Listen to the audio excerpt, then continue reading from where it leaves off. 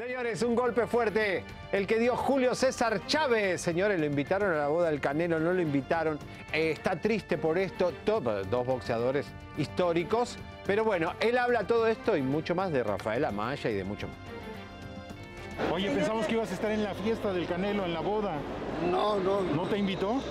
No, no me invitó y aparte de esto no, no pude ir.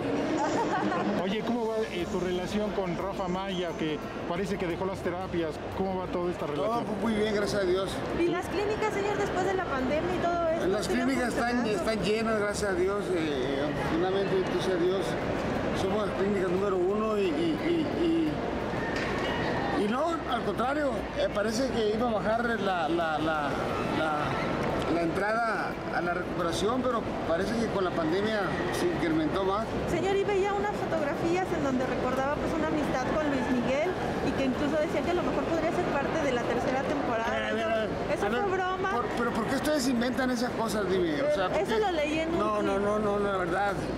Yo nunca dije que quiero salir en la, en la- en la- en la- serie con Luis Miguel. No necesito salir ni- ni- ni quiero salir. Él es mi amigo personal. Somos amigos de hace muchos años. Eso es todo lo que yo dije, pero nunca dije, nunca dije que yo quería salir en la serie. Oye, y después de ver tu serie, Julio, ¿no te gustaría la actuación, algo? ¿La actuación? Sí, o algún personaje, algo, entrarle a la actuación. O sea, tú todo. ¿Cuánto es? A- a- Actué 115 veces peleando arriba del ring. ¿Qué más quieres, canijo? Bueno, hay boxeadores que salieron al cine, hicieron películas. eh, Bueno, Oscar de la Hoya hizo su show también por ahí, así que, que tal vez, eh, no sé, podemos hacer un programa El Canelo con Julio César, qué sé yo, se puede hacer muchas cosas. Pero la verdad que en la serie de Luis Miguel, ¿por qué tendría que estar eh, Julio César? La verdad, no sé. Que ahí eligieron lo que ellos querían decir y bueno, no está, no estás. Alejandra Ábalos, señores y señoras, insiste ella en meterse en lo que no le importa. Aunque ahora que estuvimos con ella en México le dijimos que pues, ¿por qué está metida en toda esta polémica si canta bien bonito y actúa tan bien? Pues ella insiste que las Saritas se harían una prueba de ADN con el Brian. Yo dije que ya no iba a volver a tocar esos temas porque la ciencia es la ciencia, ¿verdad? La ciencia pues tiene que revelar lo que es. Este, aunque en México a veces es difícil que uno pueda tener un resultado fehaciente si no se hace ante la ley y en un laboratorio importante, ¿no?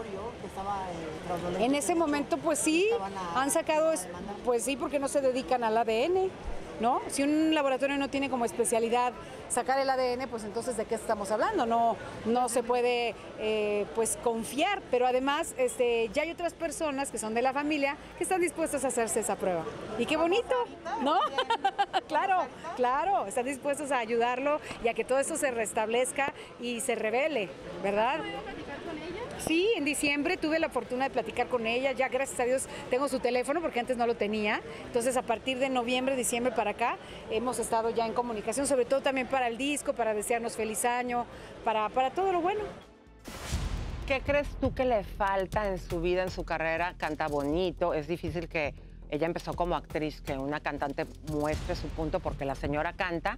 ¿Qué crees que pase por su mente? ¿Por qué quiere e insiste con lo mismo? Yo para mí, ella se la tiene jurada a Anel y a José Joel porque el odio que ella le tiene a ellos, la tuvimos también hace poco, ella realmente no los quiere, no los traga.